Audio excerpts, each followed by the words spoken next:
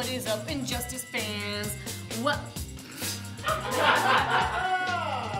You almost look like a superhero.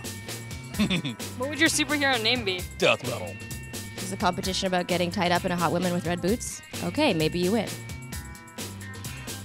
Yes. I made you speechless. You did make me speechless. Cyborg, easy. And why is that? Because he has a name like a Jewish name. Cyborg, Goldberg, Cyborg. And what would your superhero name be? La poil delicieuse. What does that mean? The delicious pubic hair. Alright, that was That was actually very good. Very good. I feel violated. But if that weren't enough, Part. What's up, everyone? Uh, blah, blah. Go back to your pensive thinking on the beach. there's no way that he's not going to destroy things.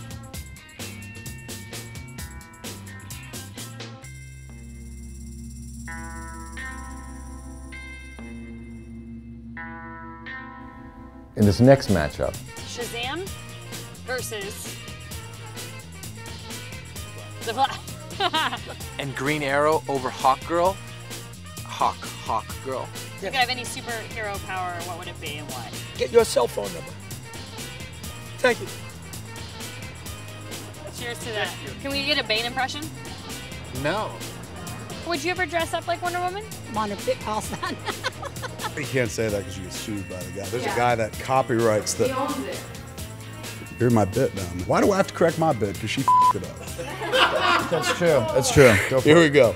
And she's so joined is that I don't care that my arm is missing. I'm gonna beat your ass. and then hold my weave, and she takes everything off. She keeps coming. She's like she's like a Terminator. That's who Harley is. Okay, That's who she is. that's okay. Or one of your ex girlfriends, maybe. I won't comment. Okay.